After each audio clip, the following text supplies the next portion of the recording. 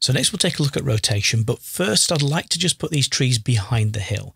You might notice that the bottom of the tree trunks just stands in front of the hill in there. So in this case, we can just hover our selection tool just to the side of those trees, click and hold down the mouse and drag across all three of them to select them. Of course, the, of course, the sky is still locked in there, so we don't select that. And then you can hover over one of the selected items and right click.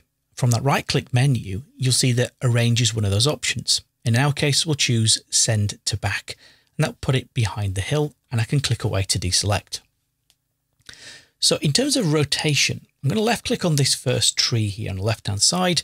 And then in the properties panel in the transform section, we have a rotation field. If I click on the drop down menu, you'll see that we have a set of preset angles in there, which are increments of 30 degrees. So if you hover over one of them and left click, for example, 30, that rotates in a counterclockwise direction.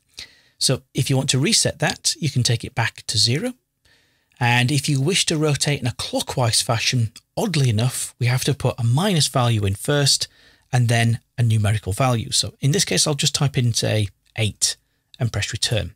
So as odd as it seems, to rotate clockwise, you have to put in a minus value. Um, doesn't make sense to me, but that's the way it works.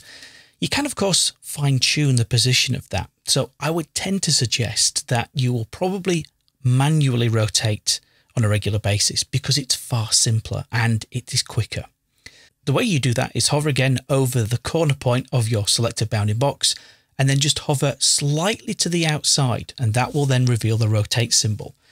Click and hold down the mouse, drag to the left hand side to rotate counterclockwise or drag to the right hand side to rotate clockwise. If you to rotate in a high value, you can just click and drag and you can keep dragging towards the right hand side, but you may find it easier to click and drag in a clockwise fashion with the mouse or a counterclockwise fashion with the mouse if you've got a really large rotation to apply to an object.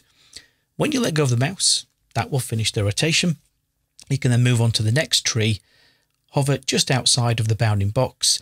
And really what I want to do with these is just to lean them uh, the way that the hill is tapering at the side in here. So just to lean them out to the sides ever so slightly, like so.